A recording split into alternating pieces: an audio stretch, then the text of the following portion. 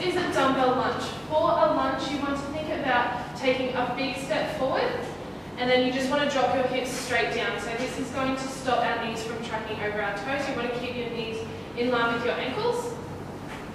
With the dumbbell lunge, it's targeting your calf muscles, hamstrings, gluteals, and your quadriceps, and you want to squeeze your glutes as you come up from the lunge. Alternating, stepping back, and then going with the other leg.